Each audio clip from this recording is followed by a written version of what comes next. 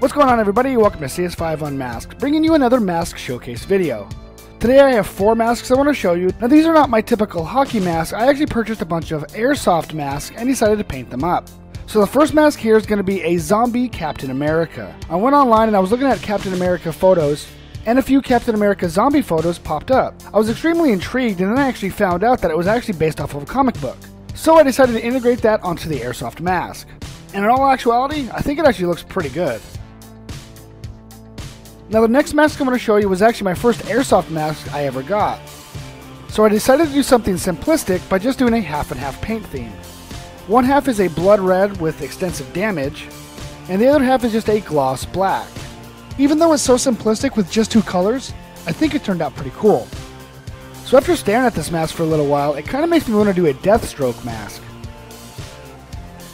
Alright, the next mask here is going to be no surprise to anybody. This is my version of the Deadpool mask. I decided to go with more of like a candy apple red with a gloss black because I really wanted it to stand out. But what I will do if I decide to make another Deadpool mask, I will dirty it up a little bit. Or heck, maybe I'll just turn him into a zombie like I did Captain America.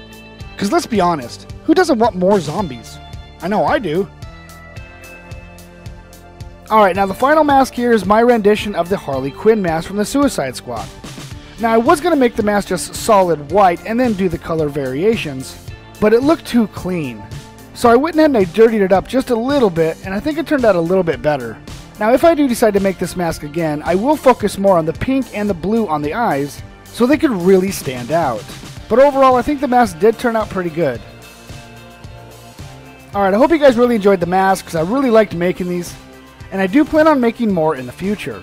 So if you guys have any suggestions for future airsoft mask paint designs that I could do, leave them in the comments below.